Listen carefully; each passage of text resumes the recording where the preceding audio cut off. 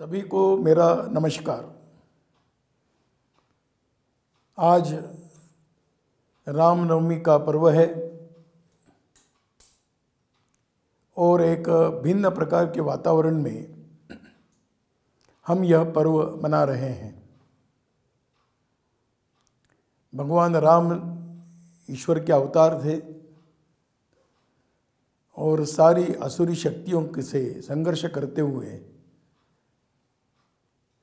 उन्होंने उस समय मूल्यों की और मानव समाज की रक्षा की है। आज हम एक भिन्न प्रकार के संकट से गुजर रहे हैं। सारा विश्व का मानव समूह इस भयानक संकट से कहीं भयग्रस्त है और कहीं उस आपदाओं को झेल रहा है। आज की यह बीमारी, संक्रमण की बीमारी है। और इसलिए संक्रमण रोकना यही इस समस्या का समाधान है। सभी प्रकार की शासन के द्वारा, चिकित्सकों के द्वारा दी गई सूचनाओं का पालन करना, इसी से हम इस आज के वर्तमान संकट से हम सब मुक्त हो सकते हैं।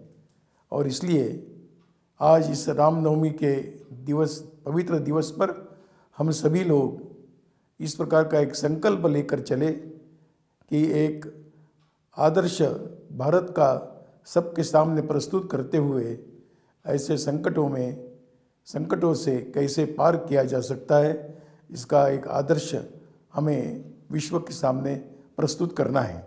इस घड़ी में देश भर में सभी स्थानों पर राष्ट्रीय स्वयंसेवक, संघ के स्वयंसेवक सेवा कार्य में लगे हुए हैं। जैसी जैसी आवश्यकताएँ निर्माण होती है, उस आवश्यकताओं की पूर्ति करते हुए आज देश भर में हज़ारों स्वयंसेवक इस सेवा भाव से समाज की इस पीड़ा में, समाज के साथ खड़े हुए दिखाई दे रहे हैं। आज लगभग दस हज़ार स्थानों पर एक लाख से अधिक स्वयंसेवक भिन्न भिन्न प्रकार की आवश्यकताओं की पूर्ति करने में लगे हैं। कहा जा सकता है कि इस योजना के तहत करीब करीब दस लाख परिवारों तक आज अपने संघ के स्वयंसेवक किसी न किसी माध्यम से पहुँचे हैं। एक लाख से अधिक स्वयंसेवक भिन्न भिन्न प्रकार के सेवा कार्य और समाज जागरण के इस काम में बड़ी मात्रा में सक्रिय है। विशेषतः भोजन सामग्री पहुंचाना, सैनिटाइजर जैसी उपयुक्त वस्तुओं को लोगों तक पहुंचाना, चिकित्सालय में जाकर सेवा देना इस प्रकार के कामों में लगे हैं। मैं कुछ विशेष बातें इस समय बताना चाहूँगा। महाराष्ट्र में कई जगहों पर घुमंतु जातियों की बस्तियाँ हैं। आज उनका जीवन बहुत कठिनाइयों से गुजर रहा है। संघ के स्वयंसेवकों ने ऐसे कुछ स्थानों पर जाकर उनके भी भोजन इत्यादि की व्यवस्था करना प्रारंभ किया है। अभी तक कहा जा सकता है कि एक हज़ार तक स्वयंसेवकों ने रक्तदान करते हुए एक चिकित्सालय की आवश्यकता पूर्ति करने में एक पहल की है। स्थान स्थान पर हम अनुभव कर रहे हैं। इस सुरक्षा के विषय में लगे हुए कर्मचारी और उसी प्रकार स्वास्थ्य सेवा में लगे हुए चिकित्सक, परिचारिकाएँ, अन्य कर्मचारी वर्ग ये रात दिन मेहनत करते हुए और अपने समाज को इस नियमों का पालन करने में और उनको सुविधाएँ उपलब्ध कराने में लगे हैं। ऐसे बंधुओं की ओर भी ध्यान देकर जहाँ जहाँ आवश्यकता है, वहाँ पर उन्हें भी भोजन, अल्पाहार और इत्यादि की व्यवस्था भी स्थान स्थान पर स्वयंसेवकों के द्वारा आज चल रही है। जागरण प्रचार के नाम नाते कई प्रकार के पत्रकों का मुद्रण करते हुए घर घर तक पहुँचाने का प्रयास बस्तियों में छोटे छोटे समूह में, परिवारों में जाकर समझाने का प्रयास इस प्रकार के और जागरण के काम में भी आज संघ के स्वयंसेवक बड़ी मात्रा में सक्रिय है। अधिक ध्यान देने की आवश्यकता जो ध्यान में आ रही है। अलग अलग राज्यों में अस्थायी रूप से मजदूरी करने के लिए अलग अलग प्रांतों से मजदूर आते हैं। उनकी अवस्था आज और बहुत ही चिंतनीय है।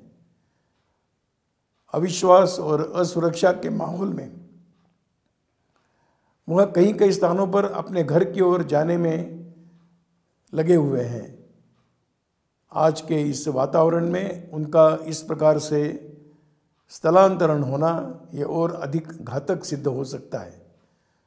इसलिए हम सब लोगों को विचार करने की आवश्यकता है कि ऐसे अस्थाई मजदूर निश्चिंत रूप से रहे।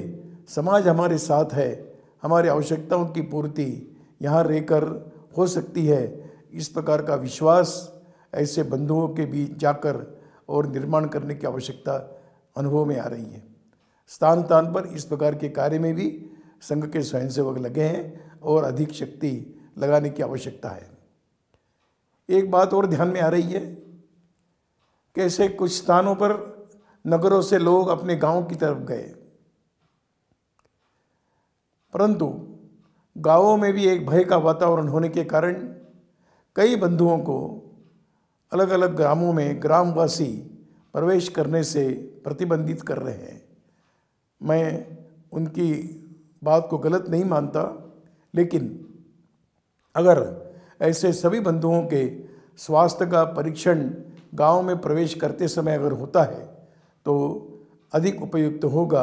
आज उन्हें गाँव के बाहर ही अस्थायी व्यवस्था में रहने पर मजबूर होना पड़ रहा है।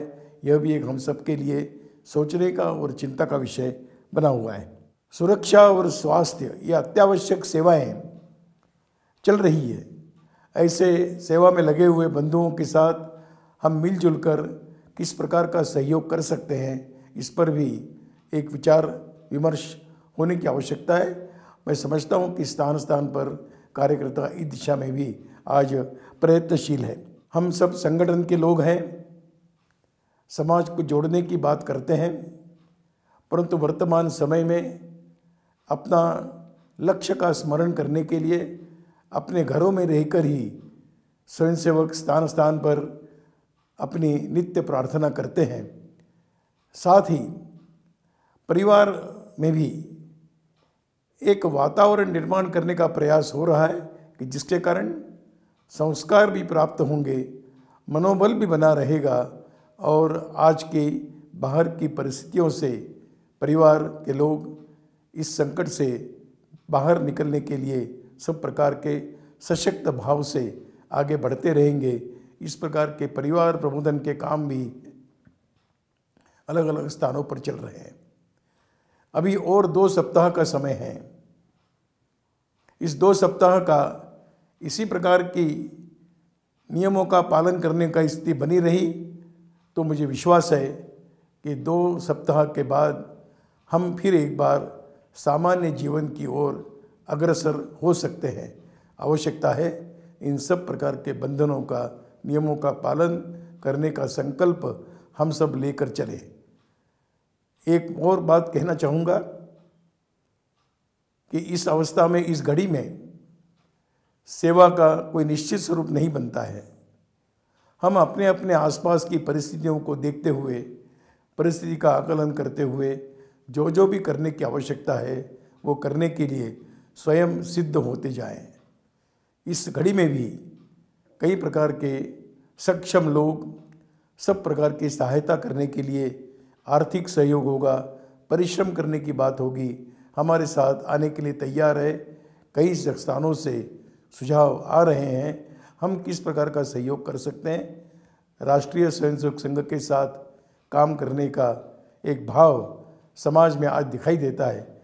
इसका भी ध्यान रखते हुए ऐसे सारी शक्तियों को जोड़कर आज के इस घड़ी में हम सब लोग जितना कुछ कर, करना चाहिए, उतना करने का प्रयास हम लोग करें। आज भी बहुत बड़ी मात्रा में कर रहे हैं। ऐसे सभी स्वयंसेवक अभिनंदन के पात्र हैं। आज यह संकट यह किस प्रकार का है, इसकी भीषणता क्या है, हम लोग सब समझ रहे हैं। परंतु इस कालखंड में भी हिम्मत के साथ, साहस के साथ परिश्रम पूर्वक विचार पूर्वक जितना भी हम करेंगे, उतना ही समाज के लिए उपयुक्त सिद्ध होगा।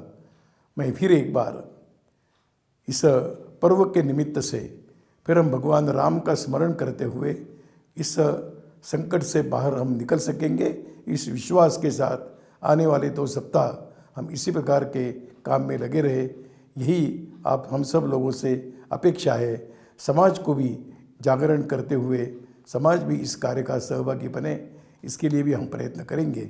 मैं समझता हूँ कि आज का यह रामनवमी का पर्व, ये इसी प्रकार का संदेश समाज रक्षा का, समाज की सेवा का, समाज जागरण का संदेश आज हम सबको दे रहा है। मैं फिर एक बार इस पर्व के संदर्भ में, इस पर्व को लेकर आप सबको मेरी शुभकामनाएँ प्रेषित करता हूँ।